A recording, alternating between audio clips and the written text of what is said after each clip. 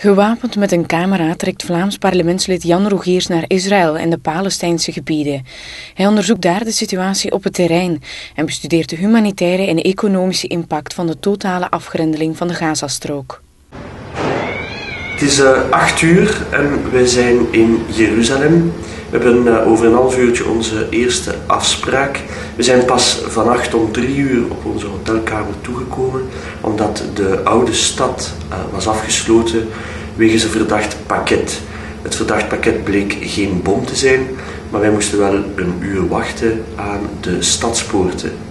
Over een half uurtje onze eerste afspraak en wel met uh, Cairo Arafat van het uh, ministerie van Ontwikkeling. En daarvoor gaan we naar Ramallah met het openbaar vervoer.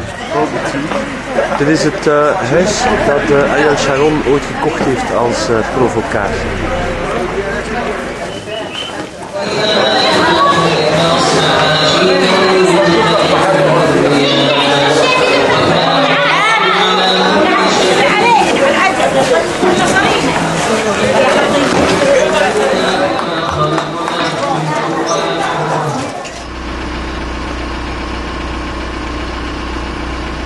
Over the course of Belgium's support, um, we noticed in the period of 2006 onwards, there's been a freezing on all programs, and we're asking now to lift those. The Belgian program for health in this country uh, has saved us millions of dollars in tertiary referral care services simply because you've had really dedicated staff here and in Belgium who've trained our nurses and doctors to provide massive mm-hmm. cardio- cardiac care. And many countries don't like to do this, but for us, it saved us millions of dollars and mil- and and, and uh, I want to say hundreds of lives of people who could not travel, who cannot leave the country, mm-hmm. who need emergency care here. So we do encourage this approach to localize your aid uh, more efficiently and to reduce the bureaucracy. There have been some issues of bureaucracy. It, it takes a long time. There's many departments, many levels of approval. So we're hoping to try to streamline some of those issues also. Bijvoorbeeld is West-Jeruzalem en deze baan hier is eigenlijk de de facto scheidingslijn tussen Oost- en West-Jeruzalem. Dus, tot 1967 stond er hier eigenlijk een, een scheidingswand en konden Israëli's niet naar hier komen. Dan hebben ze de stad heroverd en hereengemaakt en dan is het terug herenigd volgens Israël. Both Palestijnen bezet.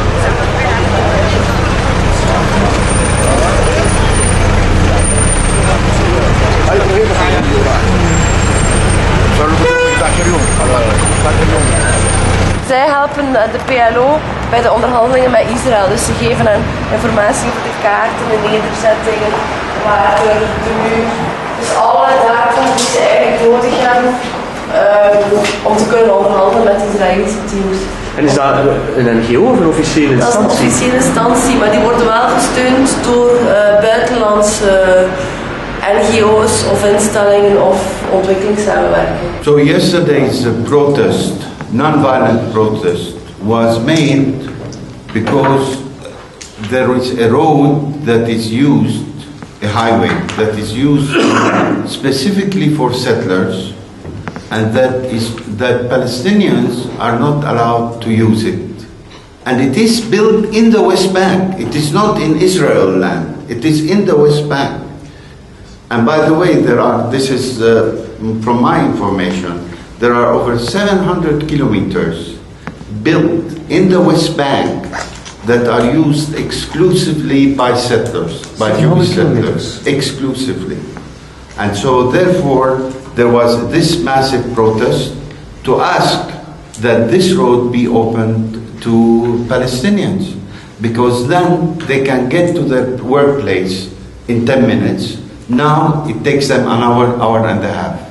Uh, we went on a very peaceful march, non-violent, and we spoke to the Israeli soldiers, to the occupation soldiers, that our purpose is to protest peacefully. But their response to, to us was to hit us again and again very, very brutally. And I still have some of the marks of my beating uh, on me my experience in Brussels and Belgium was that it is a peaceful country, and uh, why not Palestine to live like Belgium? Mm. And this is our hope.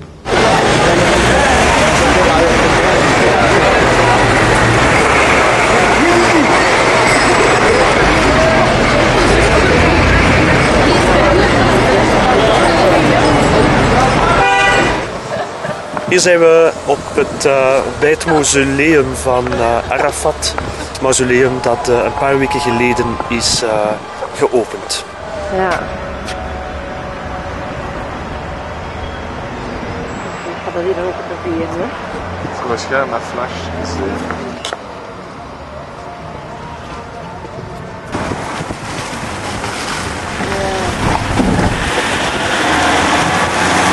We staan uh, aan de grensovergang van de Gazastrook. Het is uh, zondagochtend half negen.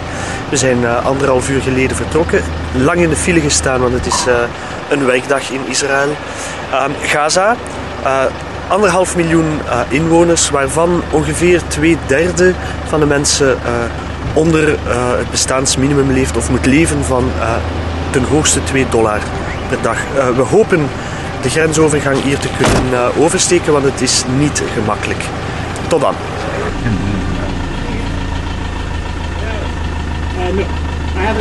Staan hier ondertussen een uh, half uur voor de grensovergang en we blijken uh, niet te mogen oversteken. Er is blijkbaar uh, maar een toelating voor twee van de vijf personen. En voorlopig weten we eigenlijk niet wat er, wat er gebeurt. Dus het is een beetje afwachten. Ondertussen hebben we achter ons ook schoten gehoord en een ontploffing. Dus of het een met het andere te maken heeft, zullen we straks misschien weten. En ook of we de grensovergang kunnen voorbijsteken, ja of nee. Goed, even een uh, kleine update. We zijn gevraagd geweest uh, door de Israëli's om terug te keren, weg te gaan van de grens. Vooral om veiligheidsredenen. Er is een uh, veiligheidsoperatie aan de gang. Dat zijn wellicht de schoten die we hebben gehoord en de aanslag of de bom die we hebben gehoord. Um, maar er zou iets misgegaan zijn met onze paspoorten. En men vraagt ons een anderhalf uur te wachten voor men terug met ons contact gaat opnemen om te kijken of we alsnog de grensovergang in Eres kunnen, uh, kunnen oversteken. Dus het is uh, voorlopig afwachten, een beetje spannend. Er zou een toestemming zijn voor twee van de vijf mensen, met name de mensen die een paspoort hebben die uitgereikt is door het parlement. maar ook dat is allemaal onzeker. een beetje afwachten dus. Wauw, daar wordt een besluit.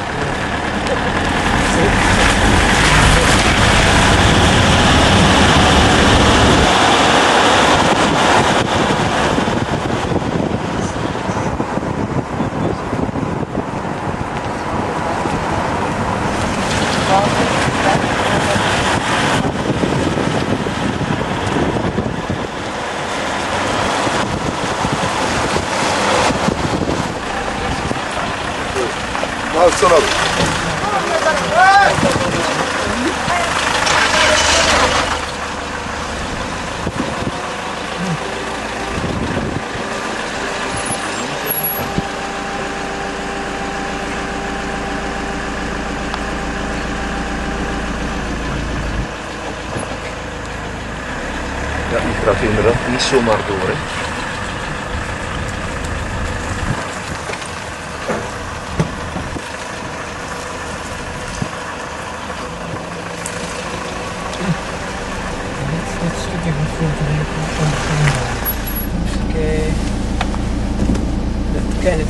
gate is van de Palestijnen. Jeetje, deze is zwaar.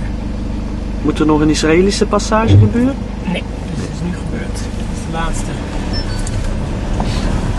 Tada!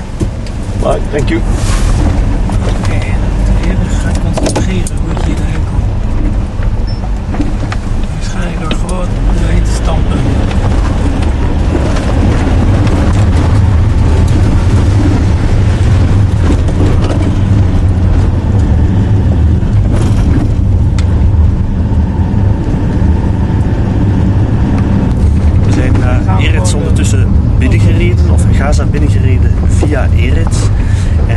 Staan we eigenlijk onder de bescherming van de Verenigde Naties.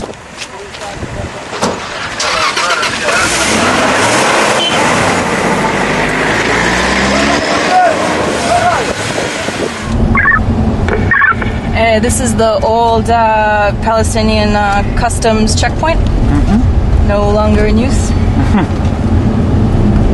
Uh, earlier this morning, there was a homemade rocket uh, launched towards um, the east, and that is why you heard the Israelis uh, sound uh, like the warning, um, which I understand is pretty pretty normal. But um, I'm I, it hasn't been confirmed if they retaliated for that or not. Yeah. Um, so that is all that. Uh, also, this morning, um, part of the reason the crossing was closed is because they were letting um, students and medical patients out mm-hmm. to go to Egypt, and so they closed it from your side until all of those people had passed. Okay. oké. Volgende week in Actueel Logboek.